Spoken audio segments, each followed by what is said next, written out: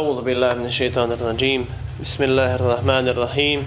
الحمد لله رب العالمين والصلاة والسلام على خاتم الأنبياء والمرسلين سيدنا محمد وعلى آله وصحبه ومن اتبعهم بإحسان إلى يوم الدين. رضوان الله تعالى عليهم وعلينا أجمعين. رب اشرح لي صدري ويسر لي أمري واحلل عقدة من لساني يفقه قولي. Hvala Allahu, gospodaru svih svjetova, salavat i selam, jer i spas, neka su na Allahu poslanika i miljenika Muhammeda sallallahu alaihi wasallam, na njegovu častnu porodcu, na plemeniti ashave, na sve naše šahide, kao i na sve one koji istinu slijedi, radeći dobra djela, slijedeći Allahu poslanika sallallahu alaihi wasallam sve do sudnjega dana. Svjedočimo da nema drugog Boga osim Allaha jednog jedinog i svjedočimo da je Muhammed sallallahu alaihi wasallam Allahov rob i njegov poslanik. Allaha molim da ovo svjedočanstvo čuva u našim srcima, da ovo svjedočanstvo iskreno živimo, da sa njim preselimo i budemo proživljeni pred uzvišenim Allahom sa ovim svjedočanstvom. Allahume amin. Draga ma braćo i cenjene sestre, poštovana omladino, assalamu alaikum, rahmatullahi wa barakatuh. Mi se nastavljamo dalje družiti sa hadisima Allahu poslanika, sallallahu alaihi wa sallam, njegovim riječima, njegovim dijelima, njegovim prešutnim odobrenjima, riječima i dijelima najbolje generacije koja je, koja je hodala dunjalkom, to su dobri čestiti plemeniti ashabi, prijatelji, drugovi Allahu poslanika, sallallahu alaihi wasallam, i svim onim okolnostima, događajima koji se dešavali u vrijeme života poslanika, sallallahu alaihi wasallam, a koji su do nas prenijeli čestite generacije, vjerodostojnim putem, pa mi danas, hvala Allahu, imamo priliku da čitamo sahih imam Buhari, da sve ono što u njemu, u njemu nađemo, da znamo da je to hak i da je to istina i da je na taj način, ispravan način došlo do nas i da će ako Bog da tako ostati do sudnjega dana. Prije nego što pročitamo današnje hadise, oni su slični se, ja sam danas odabrao tri hadisa da pročitamo, Sjetit ćemo se jednom dovojem ili fatihom imama Buharije, čiju hadijsku zbirku čitamo i svih onih čestitih i dobrih insana, ljudi koja ćemo, im, čija ćemo imena večeras ovdje spomenuti na ovoj halki i onih ljudi koji su zaslužni pa smo mi večeras ovdje, mi Allahu na seždu padamo. Ridvan lillahi ta'ala al-Fatiha.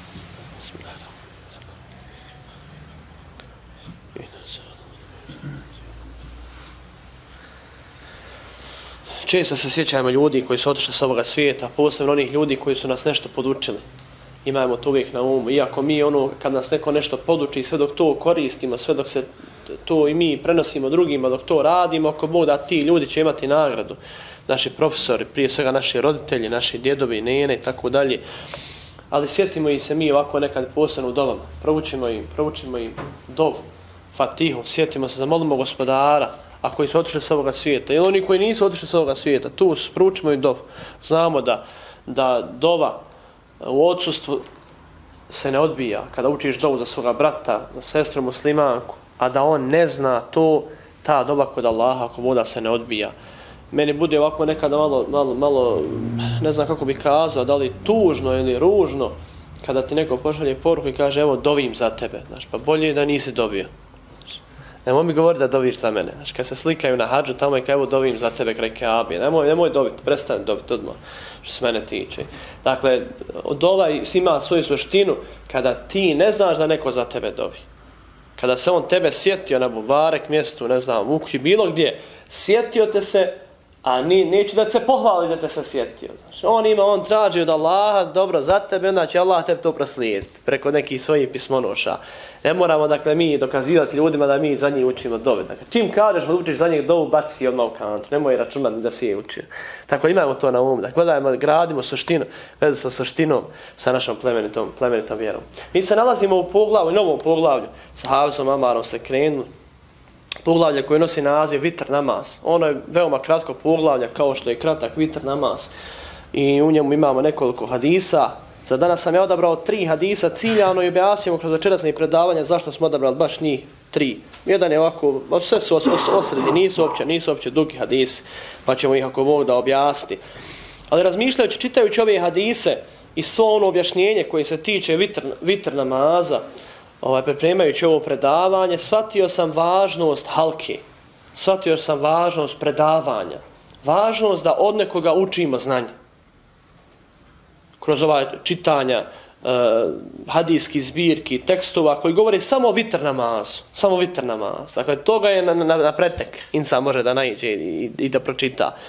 Svatio sam važnost halki, gdje mi možemo, dakle, od onih koji su malo više nešto pročitali o tome i od svojih profesora, mi, mi na fakultetu i medresama, pa možemo da prenesemo drugim ljudima i vama ovdje, e, koliko je važno to da od nekoga učimo znanje.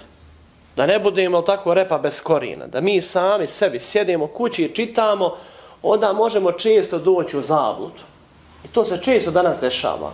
Baš iz razloga što imamo tako pristup informacijama imamo pristup evo hadijskim zbirkama, sve su gotovo prevedene na naš jezik, jel tako? Imamo dakle na internetu, ne znam, na engleskom jeziku, na arapskom, na sve nam je dostupno, sve nam je tu na dohvat ruki. Međutim, imamo ta jedan, rekao bi neki možda propust e, da od nekoga to uzimamo. Da mi ne možemo biti nekada sami neke stvari. I mi koji učimo tako godinama nešto ovjeri, onda i mi često uzmemo na telefon, nazovemo nekog od ljudi koji smatramo ovaj učeni svojih profesora, ljudima koji koji smatramo trebamo pitati, tražimo dakle odgovor, pitamo ako nam neke stvari nisu jasne. I uvidio sam koliko je važna dakle halka. Vidite, vidjet ćemo večeras evo konkretno iz ovog, iz ovog predavanja kada pitanje vitr namaz. Kada se radi o vitr namazu. Danas imamo ova tri hadisa koji ćemo ako da pročitati, koja su kada i ovako na prvu gledamo malo različita govore svi dakle o vitr namazu, o namazu koji je tako jednostavan, dakle nema u njemu puno nekih, ovaj, rekao bi nema što o njemu pričat, međutim vidjet ćemo da ima tu neki ovi nijansi, međutim te nijanse nikada nisu bile problem. Problem je onoga ko ne razumije te nijanse. I šta se često dešava, posebno kod mlađih ljudi, mi ćemo to čut svi mi od nas, i ja se svrstavam u tu mlađu ovaj, kategoriju. Kad odemo na kahve, kad se pričamo, družimo s ljudima, puno ljudi nekada pričaju o tim nekim stvarima, o tim nekim vjerskim, ne znam, propisima. Lijepo o tome da se priča i treba o tome pričati, ali treba imati mjesto i vrijeme kad se o tome govori. Mjesto i vrijeme kad se o tome... Posle kada su pitanju, ne znam, neke ovako fikska, fikska pravila, rješenja, šta treba uraditi, šta ne treba uraditi. Dakle, nekada mi mi ćemo čut, ja sam neki nabio u jednom restoranu i onda ti konobar onako, ti nešto tražiš, on ti kaže to ti nije halal, nešto, ne znam, nešto što, što, što nije baš, nije haram, dakle, ali zanimljivo neko piće. Ovaj. I veoma je, veoma je zanimljivo kako to ljudi, ne znam, e, e da me pogrešno nesati, ne ponižavajući nijedan posao, ali koliko smo i tako uzeli olahko, da za nešto kažemo, da nešto halal, da nešto haram, nekom gostu za koji možda nemaš pojma ko je čovjek. Kasnije kad će on saznat da sam ja efendi, onda on promijenio priču. Počeo počeo raditi svoj posao onako ono, ono što treba, treba raditi. Više nije spominjao halal i haram ove pojmove. Dakle, hoćemo koliko je, koliko je važno dakle, da te stvari ostavimo negdje ovako za kružovka kao kojima možemo pričati, raspravati i govoriti o tome. U kojima možemo nekoga ko se možda pripremi za to, kažemo, de, kao što se pripremimo mi, svako od nas ko dođe ovdje u ovaj mihrab, pripremi se za to i održi održi to predavanje, da drugi razumiju to. Prvo da mi razumijemo, da to možemo drugima da prenesemo, da i drugi, da i drugi razumiju. Ono što je važno iz ovog hadisa, se iz ovih hadisa večeras koje ćemo pročitati, jedno veoma važno pravilo koje sam ja od svojih profesora naučio, jeste da u životu nikada ne smijemo biti isključivi. Nikada ne smijemo biti isključivi. To je ono pravilo kad to naučite u životu.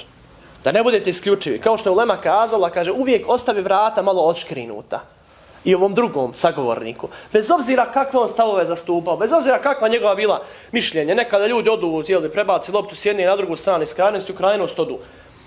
Međutim, islamski učenjaci kada bi raspravljali prije, išli bi, kaže, mi raspravljamo i mislimo da je naš odgovor tačan. Ali kaže, sumljamo da može biti, e, može biti pogrešan. Tako isto kada je s druge strane, mislimo da ovaj možda nije pogodio, ali imamo sumnju u podsvijesti da je možda on pogodio. A šta smo mi dakle, pogriješili, šta ćemo onda da uradimo? Tako da nikada nemojmo u životu općenito, dakle, da budemo isključivi prema, prema životu, prema vjeri. Vidjet ćemo posebno to u ovim vjerskim stvarima. Zašto?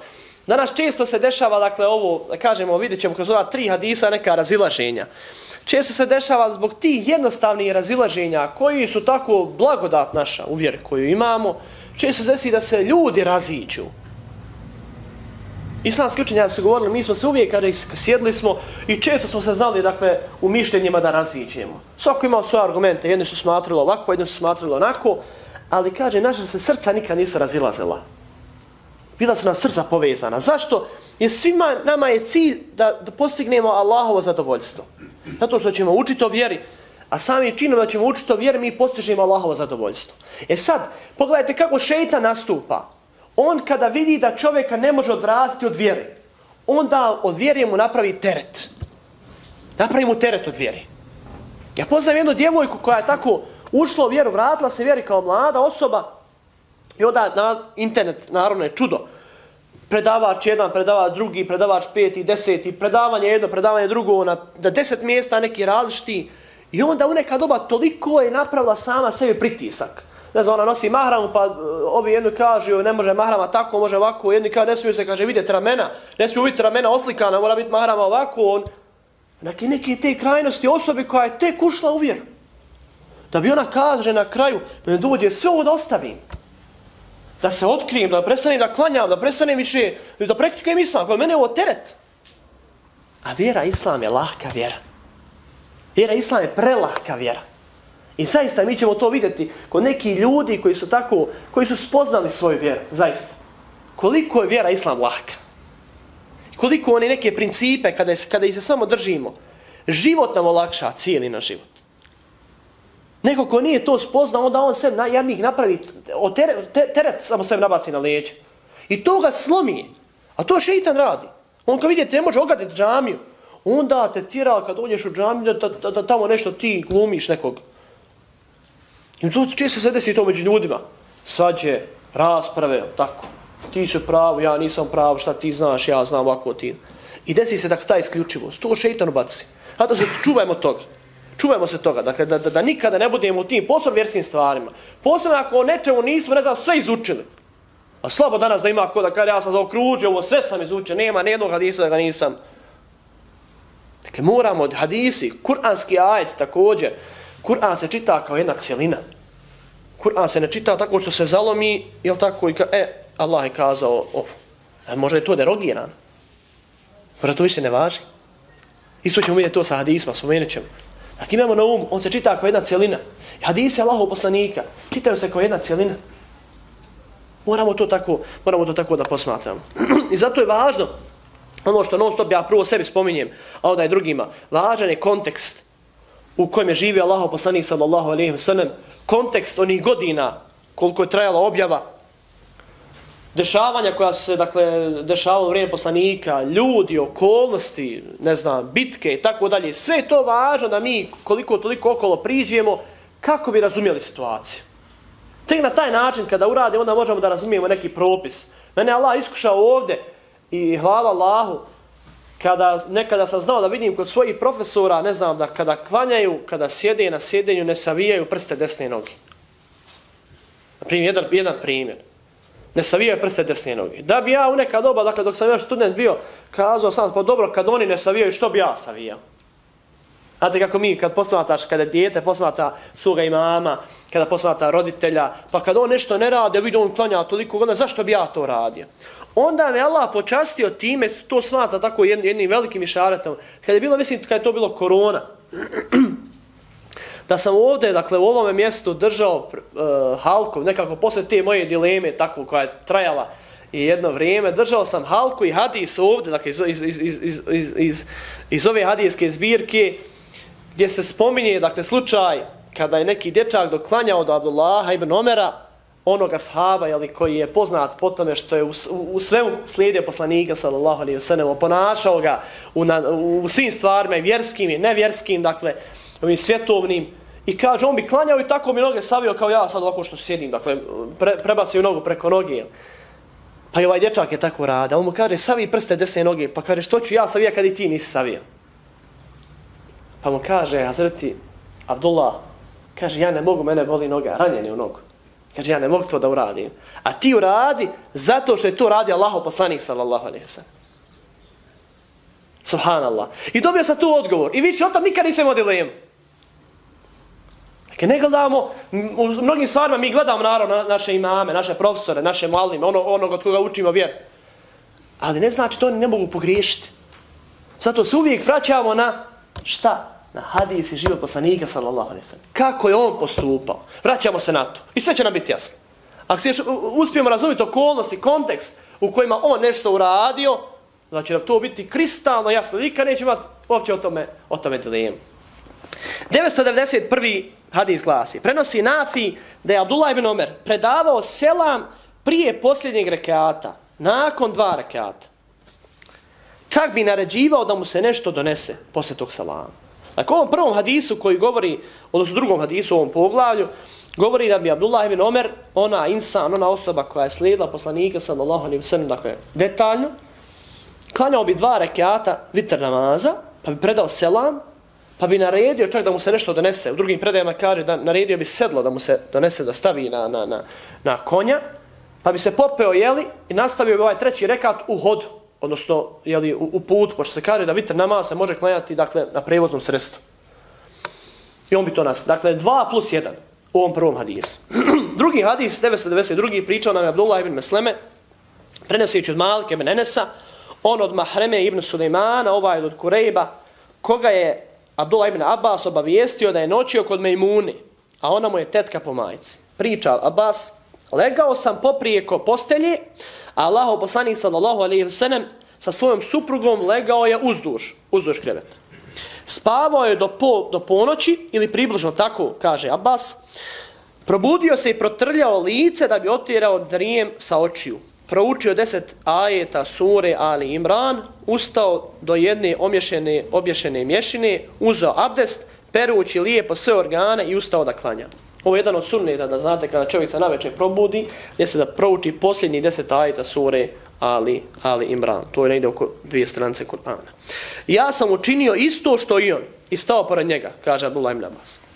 On stavi svoju desnu ruku na moju glavu, uzeo me za uho i uviga. Zatim klanja dva rekiata. To je ona poznata situacija kada je on klanjao sa njegove, stao sa njegove lijeve strane, a on ga uzeo za uho pa ga pomjerio na desnu stranu. Objasnivši jeli, da kada klanjaju dvije osobe, da imam klanja jeli, e, sa lijeve strane, a onaj muhtedija klanja sa njegove desne, desne strane. Samo što se ovdje taj detalj ne spominje, a spominje se u drugim, u drugim predajima. Ali da znamo zašto on to govori.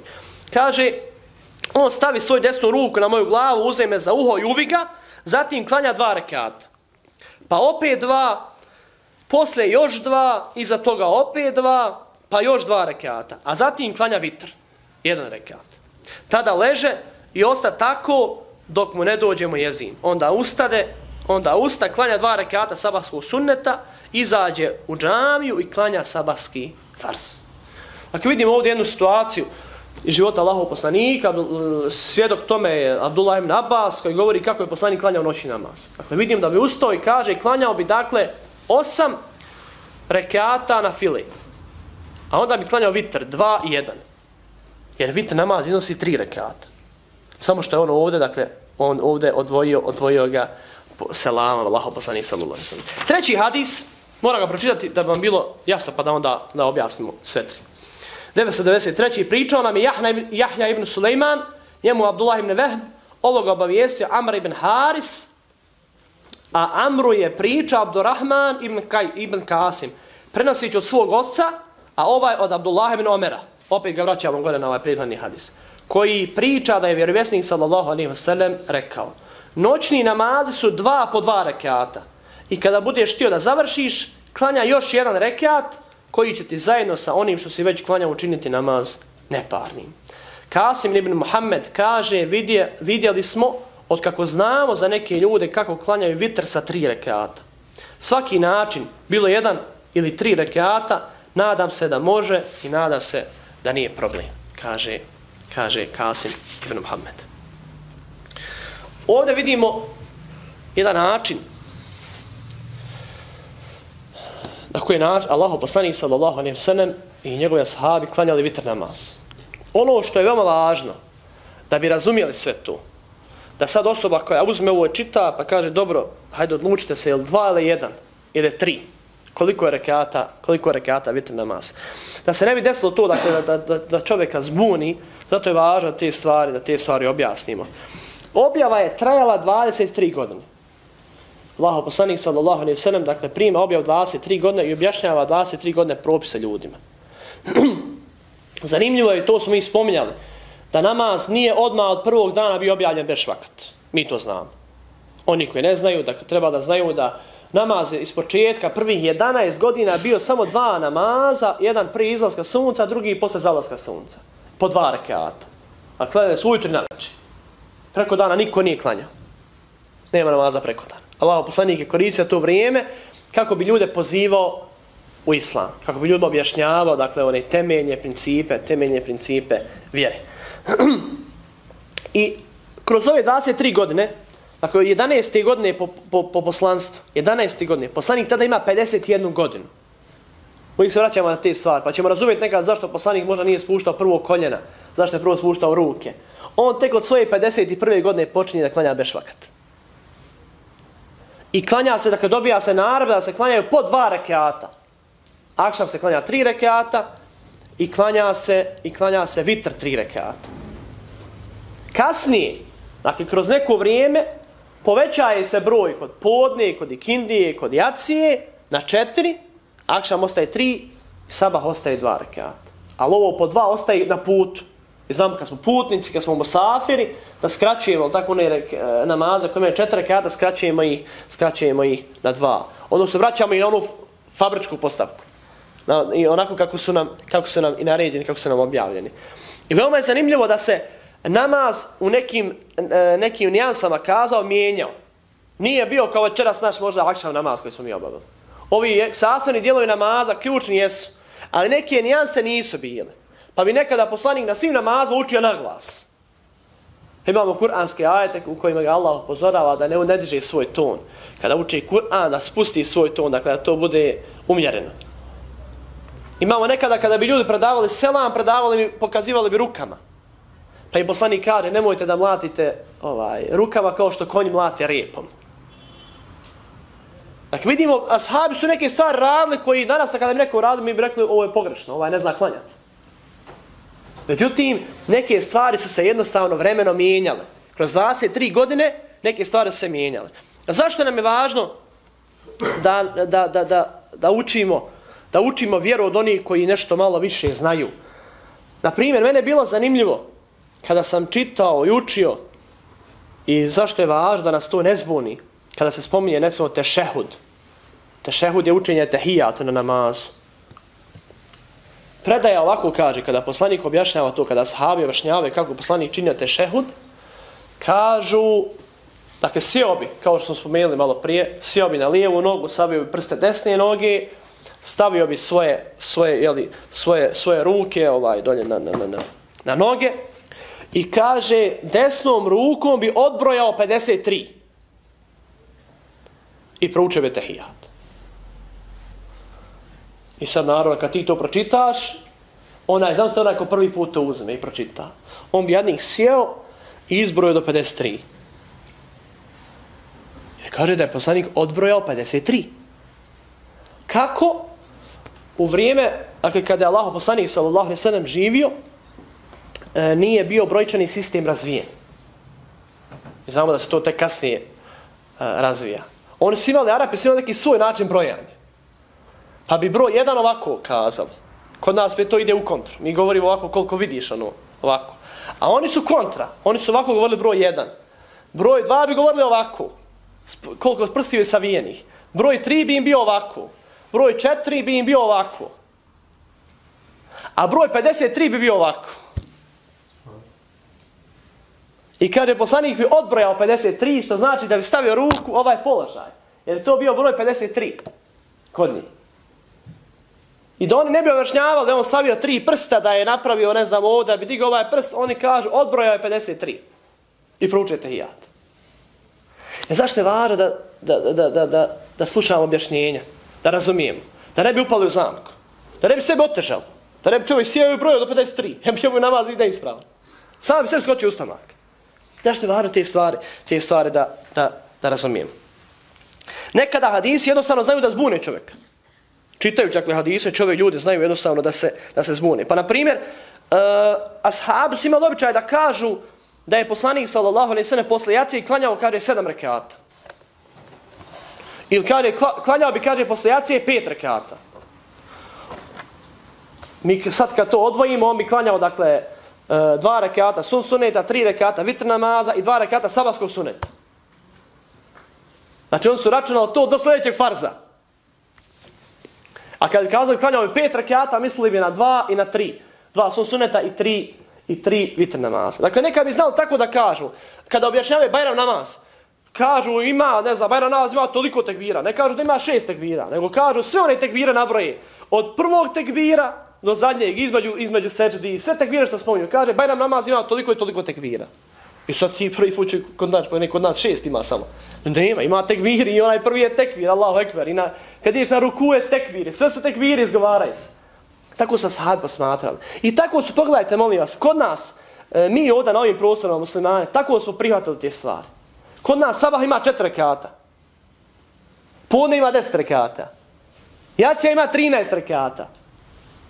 Znate kada, kada je pričao to Izad Čamđić, kada je došao neki Arap, tamo Zavidović je on da kaže, ovaj, oni svi, većina naroda dođe u džamiju prije ezana, nama ne treba ezan, kod nas ezan reda radi onako, da bi vidjeli da žive musliman. Niko ne doziva, svi znamo, na sat, vaktija, znaš, je tako da, da, da, da je vrijeme, vrijeme, vrijeme namaza. I sad svi sjedu, svi prouče dovu posle, svi klanjaju sunnete, podne bilo, po su, sunnete, svi zajedno, jel tako, prouče posle dovu, klanjaju farze, su sunnete, svi klanjaju, svi zikre, aman. I kaže ono, jeste vi dobri musliman? Pa kaže, vi klanjate i četiri rekata prije farza, dva rekata posle farza, kaže, njem izate fenja, ne, ne, ne, kod nas je sve ovo podne. Sve kaže ovo podne kod nas.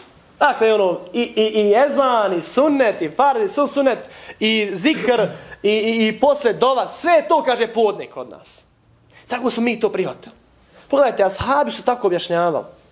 Kada bi za nešto govorili. Dakle, koliko ima rekata, govorili bi, dakle, ukupan broj, cijeli broj. Kasnije će to ljudi govoriti da ima prije farza, posle farza. Dakle, pogledajmo to, to je praksa ashaba. I to smo mi, alhamdulillah, naši ljudi su to, naši ljudi su to preuzeli. I zato je važno, na kraju ću to spomenuti, ovaj, kada čitamo hadisa Allahog poslanika, sallallahu alaihi sellem, ovo što sam spomenuo na početku i što non stop spominjem, koliko nam je važno to objašnjenje, ljudi često čitaju, uzmu evo, evo, ovu zbirku hadisa, imama Buhari, i često ćemo čuti, kaže, ja sam to pročitao u Buhari, neke stvari, ne znam, a ja sam iz ovog, iz ovog ovde, sa ovoga mjesta od naših Havza Kenana, kad je objašnjavao gusul, vjersko kupanje, tamo imamo poglavlje o guslu završava sa dva hadisa koja nisu validna, koja se nisu, ne koriste se praksi, derogirane se. Koji se kažu da se čovjek ne mora kupati u nekim situacijama, kada je u pitanju odnosa sa njegovom ženom, a mi znamo da kasnije se mora kupati. Ko želi to nek provjeri, hadis 292. i 293. Evo u ovoj zbirci. Kaže, našao sam ja u Buhari. I čovjek postupa potom i pogrešno postupa. Čini grijeh. Zašto? Jer ne zna. Nije pitao. Zašto je važno da, da, da, da, da pitamo, da vidimo ono ko, ko više od nas zna, ko malo bolje, da, da razmišljamo. Da razmišljamo. Da idemo na predavanja, da, da, da, da koristimo jednostavno one sve resurse što imamo, ali u nekom pozitivnom smjeru. I kad nešto odlučimo, tako, gledamo da to provjerimo kod nekoga za kog smatramo da će nam dati bolji tačan odgovor ili tačno objašnjenje neki stvari jednostavno znaju čovjeka zbuniti. Evo kao što, kao što smo vidjeli ovdje kroz vitr namaz. Na kraju, dakle, da zaključimo, mi vitr namaz klanjamo tri rekata sa jednim selamom, na kraju bit će to još ako mogu da ovdje objašnjenja. Često ćemo vidjeti ljude da to, da klanjaju jedan rekat, kaže, klanjaju, međutim, ulema je kazala, ne postoji namaz od jedan rekat. Dakle, mora se klanjati kao što su ovi e, klanjali dva plus jedan, nekada. A imajte na umu, dakle, da uvijek kroz, kroz 23 godine e, namaz je mijenjan. Pa bi nekada poslanik tako uklanjao, ali na kraju, dakle, vidimo da je to prenešeno, da se to najčešće klanja, dakle, tri rekata, da se na trećem rekatu uči, uči kun doba. Vi to znate. Ja sam pokušao samo da ovaj, ovaj, ovaj kontekst da objasnim, da to ne bude samo objašnjenje vitr namaza, samog vitr namaza, vi to, vi to znate, kogod obavlja namaz i može naći, jel, na, na, na, na, na, onaj na, na mnogim, mnogim mjestima, od mihalima, na internetu i tako dalje, bilo mi je cilj da ovo razjasnim. Ono što želim uvijek da, da se razmišlja o propisima vjerskim, da znamo da možemo upasti u zamku, da ne smijemo nikada biti isključivi, ba o kakvom se propisu radilo, uvijek, neka ostane uvijek oškinuta vrata malo za, za neko, neko dodatno objašnjenje. Molim Allah da nas on pomogne i nam dadne korisno za nje. Proučit ćemo dovoljno. آمين أعوذ بالله من الشيطان الرجيم بسم الله الرحمن الرحيم الحمد لله رب العالمين والصلاة والسلام على رسولنا محمد وعلى آله وصحبه ومن اتبعهم بإحسان إلى يوم الدين رضوان الله تعالى عليهم وعلينا أجمعين Gospodaru naš, podari nam svako dobro na ovom i na budućem svijetu i zaštiti na džehennemske vatre. Molimo te, gospodaru, podari nam svako dobro na ovom budućem svijetu i zaštiti na džehennemske batri. Molimo te, gospodaru, za svako dobro za koje te molio tvoj miljenik Muhammed sallallahu alaihi wa sallam. Molimo te, gospodaru, zaštiti nas od svakoga zla za koji kod tebe utočište tražio tvoj miljenik Muhammed sallallahu alaihi wa sallam. Molimo te, gospodaru, prosti grijehe nama prisutnima i našim osutnima. Molimo te, gospoda, oprosti grijeha našim roditeljima. Molimo te, gospoda, oprosti grijeha svima onima koji su zasluženi, pa smo mi danas tebi padamo na srđu. Molimo te, gospodar, da nas uputiš na pravi put. Molimo te, gospodar, da nas, da nas učvrstiš na putu dobra. Molimo te, gospodar, da dobro radimo samo radi tebe. Molimo te, gospodar, da se klonimo zla samo radi tebe. Molimo te, gospodar, ti nas pomozi u činjenju dobra. Molimo te, gospodar, približi nas džennetu. Molimo te, gospodar, nas udalji što dalje od džehennema i džehennemske vatre. Molimo te, gospodar, da Kur'an učimo i da Kur'an živimo svojim životima. Molimo te, gospodar, da nas drugi po Kur'anu prepoznaju. Molimo te, gospodar, da budemo čestiti insani, muslimani, muslimanke. Molimo te, gospodar, da svoju djecu u islamu odgajamo. Molimo te, gospodar, da oni koji nisu oženjeni tim, pomozi da se oženi. Molimo te, gospodar, djevojka koji nisu udate, pomozi im da se udaju. Molimo te, gospodaru, da spojiš one čestite, plemenite, čiste duše. Molimo te, gospodaru, da nam se smiliješ da nas ođene svoj milošću vedes. Gospodar, kada odemo sa ovoga mjesta, molimo te da ti sa nama budeš zadovoljan i da nas na grijehe naše oprostiš. Molimo te, gospodaru, da meleki koji ti dođu, prenesu, prenesu da smo učili o tvojoj vjeri, da se trudimo biti bolji, a gospodar mi znamo i vjerujemo da će nas ti u tome pomoći. Plemeniti gospodar, ako mi zaboravimo tebe, nemoj ti zaboraviti nas, smiluj nam se i u dženeta svoju milošću vedi. Subhana rabbika rabbil izzati amma yasifun, wa salamu ala mursalin, alhamdulillahi rabbil alamin, al-fatiha.